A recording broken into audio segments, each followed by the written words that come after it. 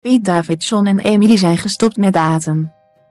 Emily Ratajkowski en Piet Davidson lijken geen koppel meer te worden. Bronnen melden woensdag aan Pasha 6 dat de twee niet meer aan het daten zijn. Wel zouden de acteur en het model nog vrienden willen blijven. Davidson en Ratajkowski bezochten eind november een basketbalwedstrijd van New York Knicks.